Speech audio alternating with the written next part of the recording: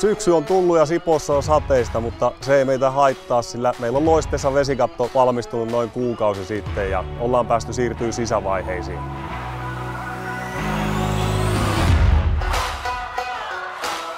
Tällä hetkellä meillä on yläpohjassa IV-kanavien eristykset käynnissä ja valmistaudutaan puhallusvillan puhaltamiseen. Ja julkisivujenkin osalta ollaan aika mukavassa vaiheessa, sillä maalaukset ja kittaukset on aika pitkälti tehty ja oikeastaan odotellaan parvekekaiteita, joiden asennus alkaa vuodenvaihteen tienoilla. Lähdetään katsomaan tuonne sisälle, että miltä siellä näyttää. Tässä vaiheessa meillä on käytävien alakattojen tekniikkaa ja runkolinjat hyvin pitkälti asennettu.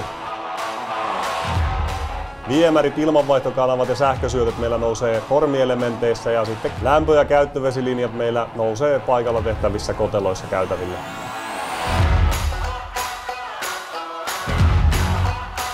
Vesikaton valmistuttua on valettu kylpyhuoneisiin maakosteat lattiat ja alettu valmistaa kevyitä väliseiniä kipsistä. Väliseinien jälkeen aletaan asentamaan kuivien tilojen lattialämmityksiä. Lattialämmitys on tarkoitus ottaa käyttöön mahdollisimman nopeasti, jotta saadaan rakenteet kuivumaan nopeammin.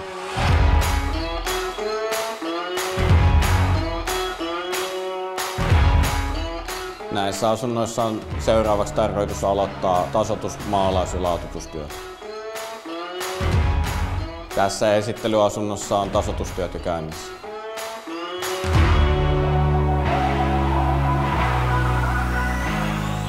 Meillä T2H on tapana tehdä jokaiseen kohteeseen esittelyasunnot hyvin aikaisessa vaiheessa valmiiksi.